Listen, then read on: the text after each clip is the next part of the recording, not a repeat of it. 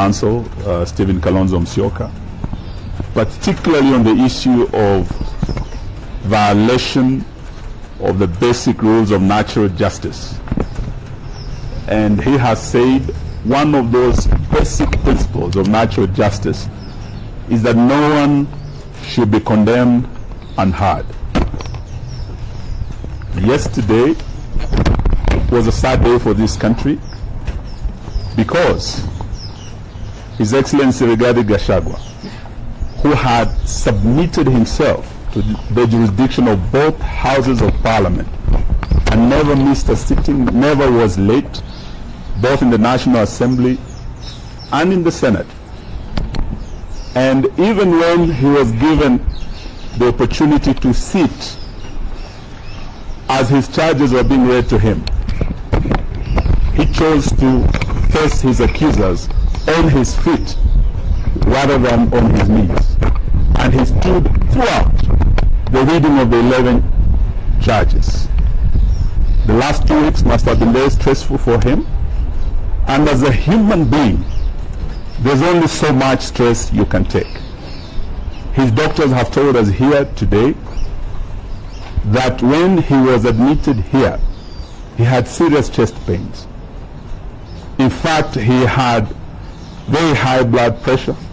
The stress he had gone through, he was short of getting a stroke. But they admitted him, they have managed him overnight. And we thank Dr. Gikonyo and his able team of doctors for the good care they have given His Excellency Rigathi Gachagua.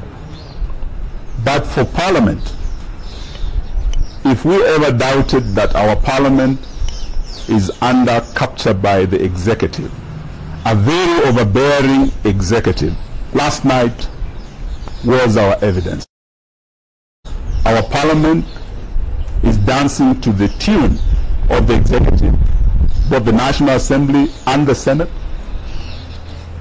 There was no reason why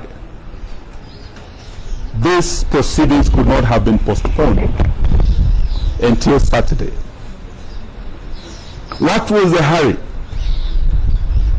When Speaker Kingi withdrew to his chambers, what were his instructions? We suspect and we believe he was told by stroke of midnight, you must be done with this man. And that is what happened. The law is clear, the rules are clear. If they had a special committee, they had 10 days. We do not have a, a limitation for the plenaries. Why was the Senate hired to crucify this man and bury him politically? All we can suspect is that Mutuse was just a hired assassin on a mission. And that was evident throughout cross-examination. And we must thank His Excellency the Deputy President's lawyers. They brought out the truth that, and this is what Senator Wambua asked Mutuse, whose motion is this? you could tell he was not the owner of the motion. He was just a gun for hire. And through cross-examination, that became very evident.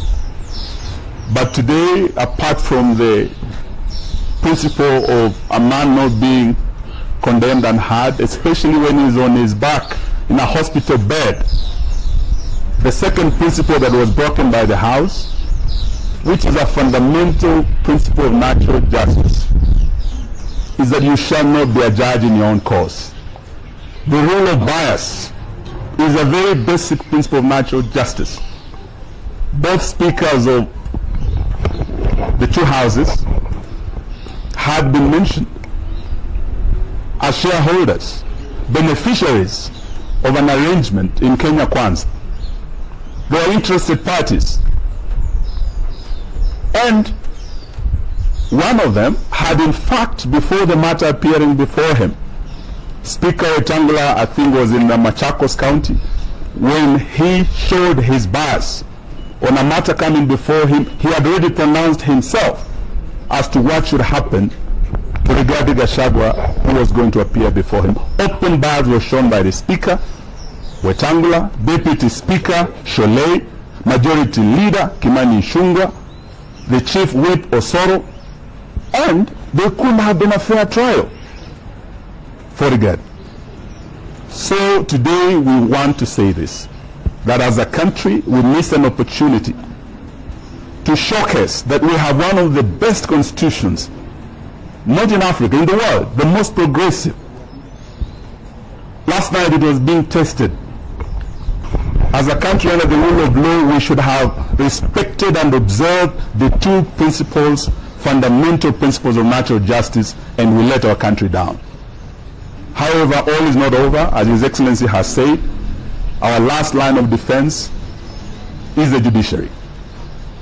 We pray and we hope as His Excellency's team appears before court, they will do justice.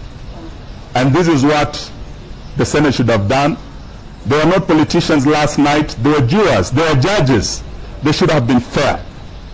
They should have allowed time for Gachagua to defend himself. But this will be a basic ground upon which I believe the decision of the House can be invalidated and justice shall be done.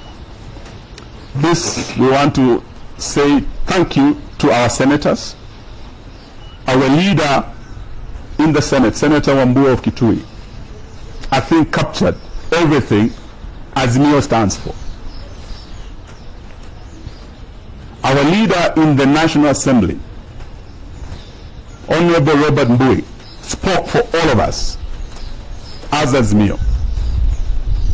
But their counterparts in ODM spoke a different language.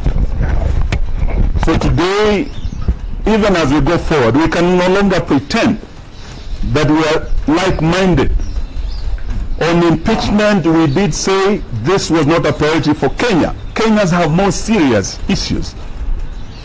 Kenyans cannot take their kids to school because of the failed new funding model in our universities. Patients are dying because when you go to hospitals now, dialysis, you are being turned away. When you have no money, you are a poor person, you are condemned to death by William Ruto and his failed policy, Adani SHA. These are issues that even as we speak, as Azimio, we have differed, not just on this impeachment, not just on joining the broad-based government. We have also differed on Adani, and yesterday we were in court led by uh, senior counsel. Kenyans will on 22nd of October see who is really fighting for them because we'll be back in court to continue the fight against corruption. In open court. In open court, we will be there on 22nd. We welcome all Kenyans to come.